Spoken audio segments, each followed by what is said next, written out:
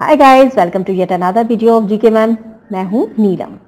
GK ma'am के इस video में हम जानेंगे मुगल काल में जहांगीर से संबंधित कुछ सवालों के जवाब जो कि कंपटीशन एग्ज़ाम में पूछे जाते हैं। तो आइए जानते हैं मुगल काल में जहांगीर से संबंधित कुछ इंपॉर्टेंट सवाल और उनके जवाब। किस नाम से जहांगीर ने सिक्के जारी करवाए? जहांगीर ने निसार के नाम से सिक्के जारी करवाए। जहांगीर किसे न्याय का प्रतीक मानता था? जहांगीर सोने की जंजीर को न्याय का प्रतीक मानता था। राज्य की जनता को न्याय दिलाने के लिए जहांगीर ने अपने महल के बाहर किस प्रतीक को लगवाया?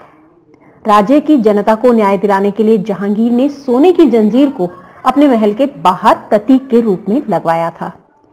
चित्रकला का स्वर्ण युग किसके काल को कहा जाता है?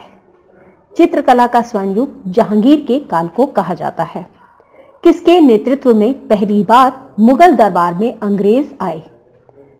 Mission captain Hawkins.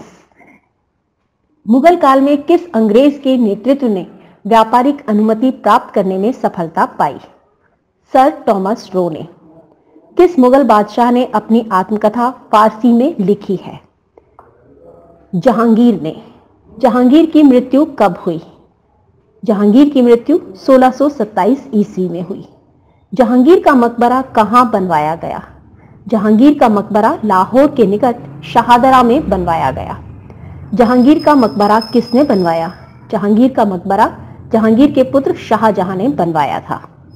जो चित्रकला का शत्रु है, वह मेरा शत्रु है, किस मुगल शासक ने कहा था? जो चित्रकला का शत्रु है, वह मेरा शत्रु है, जहांगीर ने कहा था।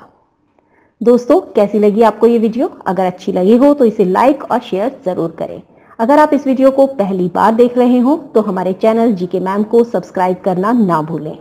इस वीडियो में बस इतना ही। अगले वीडियो में मैं आपको बताऊँगी जीके से संबंधित कुछ और इम्पोर्टेंट सवाल और उनके जवाब, जो हर कॉम्पिटिशन एग्ज़ाम में पूछे जाते हैं।